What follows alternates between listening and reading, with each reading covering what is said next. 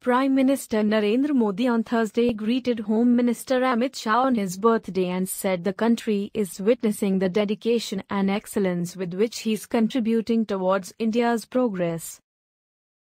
Modi tweeted, Birthday wishes to Shri Amit Shah ji. Our nation is witnessing the dedication and excellence with which he is contributing towards India's progress. His efforts to make BJP stronger are also noteworthy. May God bless him with a long and healthy life in service of India. Shah, who turned 56 on Thursday, was the BJP president for more than five and a half years from 2014, and the party grew by leaps and bounds under him, capturing power in many states and returning to the helm at the center in 2019 with a bigger win than 2014.